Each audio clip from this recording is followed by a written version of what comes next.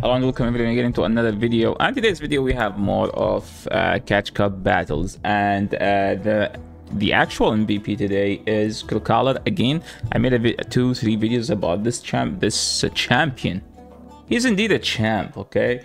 And I feel like I still haven't given a Crocalor like what it deserves. Yes, Alligator is technically an upgrade, but the Alligator like what's the name of the Alligator? Skeletor or something? The Alligator is kinda weak to Dark and the opposing Ghost uh, most of the time, with the while this thing is only weak to the stuff that uh, beats Fire.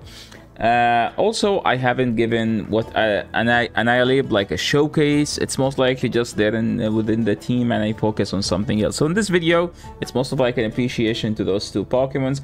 Froslass, I do not run Triple Axel. Triple Axel is a griefing move. It's a waste of energy. Don't run it. I I.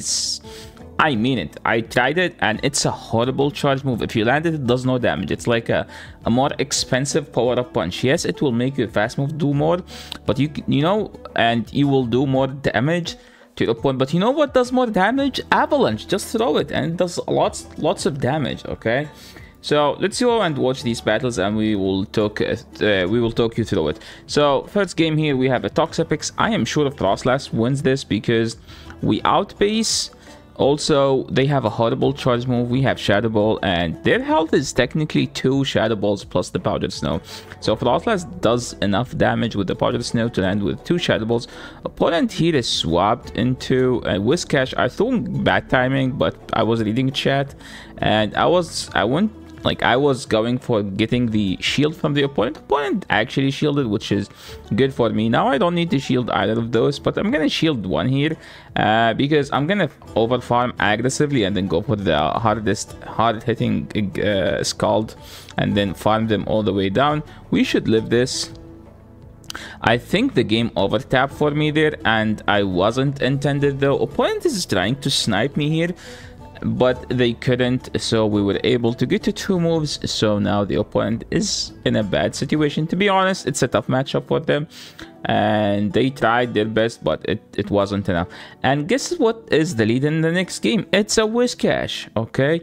And wildly my opponent was running Toxapex when everyone is just leading Whiscash so and today we will just show you how much how many Whiscashes are there so uh, the first two games, I don't have a color, but after I will be running it. So this is a team just in case you need a team, okay? As you guys know this is an educational channel. We give you teams. Which we suggested we suggest you uh, some stuff to run so a point like to catch so i insta swapped and i threw a night slash because i get them five. They get the charge move in six. So i outpace i insta throw and their pokemon gets deleted. Now it's basically what what i call it usually outnumbering. I am outnumbering my opponent here. I have two and a half pokemons. They have one and a half so no matter how we play this, it shouldn't be losable unless they have a Decidueye. But since they revealed this comedy, there is no way they have a Decidueye. So the play here is just as straightforward. Scald them to death. Not them, as in the player, no. The Pokemons. But yes, technically Pokemons do not die, they faint. Yeah, because... Yeah, you, you actually have a point, actually. Why do they faint, technically? Isn't like the same thing? Like fainting's like death or something? I mean, Pokemon is just a family thing, right? And here we have a we have a where we decided to run Crocalor. So the idea behind the is that every team has a Whiscash plus two stuff that are weak to fire. So this is the reason I am running Crocalor. So the Ape plus Froslass has one job, which is beating the Whiscash, and then Crocalor will be sweeping, as you guys will see today. I went with this team 13-2, so you cannot say that this team is uh, not tested well. Uh, well, technically two games without kill card, but still good enough, okay? And uh, we're going straight Night Slash because here I don't want to risk the game. Uh, I can just win by going straight bait. And now I'm just going to go Froslass and get some decent fast move damage here. I am kind of down a shield, so we're not in the best scenario, but we will just see. I threw in two. I don't know why. I mean, I guess they brought the Pokemon, it was invisible for one second, so I thought I did one then throw. Here I'm going to call a bait. It wasn't a bait, which put me in a tough situation. So now it's Krokal against the Dewgong. Okay, look how much the Incinerate do damage. Look at that. Opponent's throwing on bad timing. So I'm gonna no shield here and hoping that it's an Icy Wind, which turns out to be. So that was a bad bait by my opponent, which actually gave me a play with like my play now, get to two avalanches and then win the game. So we keep overfarming the Icy Wind, it doesn't matter. We're gonna do 3-4, we're gonna throw this, and the Dewgong is a 2, so technically I can do 3 then throw, but I'm just gonna do 1 then throw, you know why? Don't risk it. They might have gotten an invisible, invisible charge move when they return back to their Pokeball, we don't know. What do you guys think if the game gave us like a passive ability where Pokemons, when, when you swap them back, they gain energy? That would be insane. But Niantic cannot get creative. Opponent here is running Air Slash. I have no idea why Air Slash. Air Slash is a horrible fast move. Especially when the other option is uh, Steel, Steel Wing, which is one of the best fast moves that, uh, nowadays. So what's the play now? The play now is we're gonna go and incinerate them to death. You have to stop saying to death. Okay, I'm gonna stop that. Uh, my switch is is not up, so I'm gonna throw the charge move and then go to Froslass and farm them all the way down. So what's the play here? Farm them down, and if they get to another move, we have to shield the three, four, five, and they they they faint this time. We say faint. They faint the same time, and they realize that there is no way they could have won this game, so they decided to top left.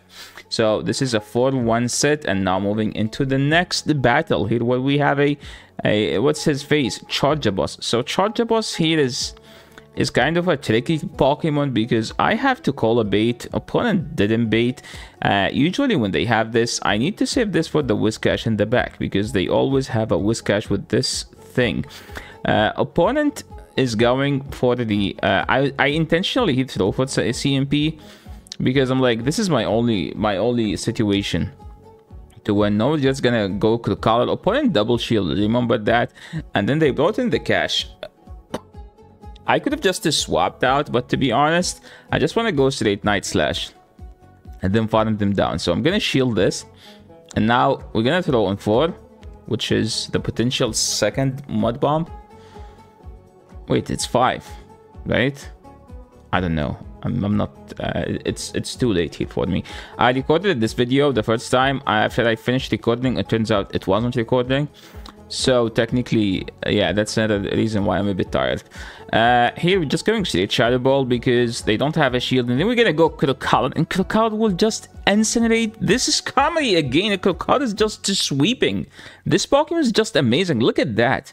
They brought the bug I am not shielding. Okay, no Protect Shield remaining. Yeah, so chill out. Okay, we're gonna live that. And then we're gonna incinerate down. And kill Krokal taking down two Pokemons, dude. Uh, they lead Mandibuzz usually if they have Air Slash, it's in Froslass's favor. If they have Snarl Foul Play, it's they win the one. And now they swap into Alakazam, and look how much the Incinerate is doing. We snuck an entire, entire Incinerate, so we're just gonna shield, and the Incinerate will take care of them. And this is where, well, technically we, the, the other one has it. So, uh, PvPoke recommends Flamethrower on Krokal. Honestly, this is why you run Disarming Voice. Look at that. That did so much damage to the point where I'm actually going to shield the next one and go for the full Incinerate down. So why Krokal is good? Technically, it's not Krokal that's good. Uh, usually, Incinerate Pokemons have 50 energy charge moves, except for the Krokal and... and uh, yeah, and Alligator both have 45 energy moves, which make Incinerate like an like a just extremely good. And they also buffed Incinerate last season, so it does so much damage. Like two Incinerate do the same amount of damage as a charge move sometimes. Uh, so here I went back to Krokal to force them to throw because if they didn't throw, I get to another charge move. So now I'm just gonna punch them all the way down, and this should be a good game. Now they will bring in the Mandy. They died to one counter. They faint to one counter. And we get friendship, opponent here, top left thing. They have no win con against the best player. In Moving into the next battle, we have a Froslass into a Whiscash. Uh, again, not surprised, we have played this matchup a lot, so sometimes I shield, sometimes I don't. So the play here is just throw these avalanches as much as you can. Sometimes I shield, sometimes I don't. I started shielding because usually when I don't shield the first one and it's scald, then I have to shield the mud bomb. So I would rather shield the scald, to be honest. Uh, so they double shielded, so now I'm not gonna shield anything, and they still have to throw another one because I do get to another move. Opponent is counting, uh, so we have to punch this thing. You actually do 5 always and then throw. They shadow, and this will always KO. That's what I found out. Okay, it didn't KO on that in, in, in that situation. Oh, look at that Crocalor! It's sweeping the back line. They have a steel and a grass, and Crocalor decided to sweep. Okay, opponent here is swapping to Gligar. I'm gonna throw on six. Hopefully they shield. This is my only way of hope. Okay, opponent didn't shield, so we have no hope in this game. I don't know how I'm supposed to, to win this. I'm gonna throw this move, and then I'm just going to try to farm them all the way down. I'm supposed to wait the clock there, by the way. So you're just gonna shield and farm down. Hopefully they don't make it. If they do make it, it's gonna be... Okay, they didn't make it, which is good for us. And now they brought the alligator. I said Crocodile is better than the alligator. Now we're about to lose to the alligator. I should have baited there, by the way. That's my only play. So I think shielding here doesn't make sense. My play is literally calling a bait. So yeah, if, if I called the bait, I would have been in a way better situation. So now Crocodile is against Dewgong. Crocodile wins this very comfortably, like in the same shield scenario. Uh, because we do live a drill and we get so many crunches. So this should KO and now we swap out and we don't make it. So even if I bait, actually I should still, I still wouldn't make it, but I think maybe I should have called a bait. But even if I call a bit, I still lose. So yeah, that was pretty much it for today. Thank you so much everyone for watching. This is the end of the video.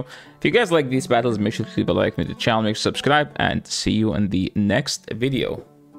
Peace.